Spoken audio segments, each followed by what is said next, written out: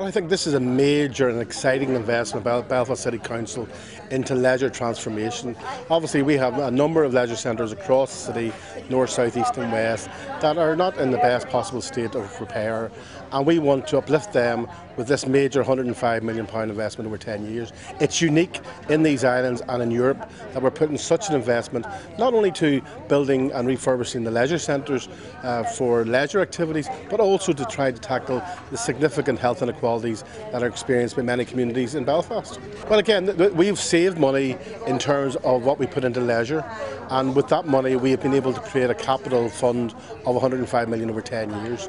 So we're going to have a phased system of investments uh, we're going to start off with Andersonstown. Well, Olympia is already nearly built in South Belfast, uh, Andersonstown and Brook and West, and the Robinson Centre, which is closed down at the moment, is going to be a part of the phase one. And then we're looking at facing uh, the refurbishment of the other leisure centres across Belfast. And we're trying to make them all unique, that people from across Belfast will go to them uh, for those unique specialities. So Andersonstown is a family swim uh, with flumes. This is more, uh, the Robinson Centre will be more aquatic. Um, and uh, uh, centre for excellence.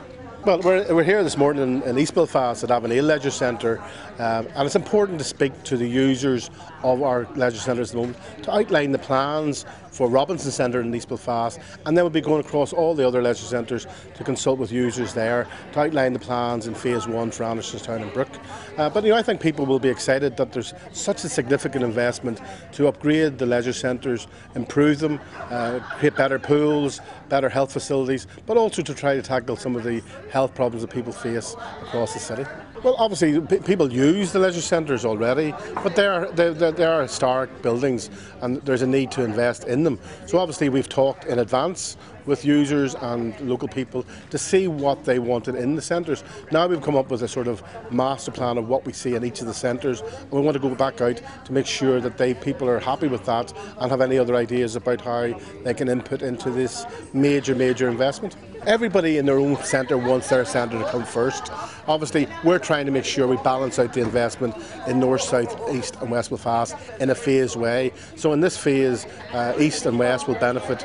Uh, has already been developed in north, and uh, Olympia has been developed in South Belfast. So, people want their centre first. But you know, I think what you'll see at the end is every uh, part of the city will benefit for leisure transformation. We hope more people will use them, and that we will also have an impact on health inequalities in each our areas.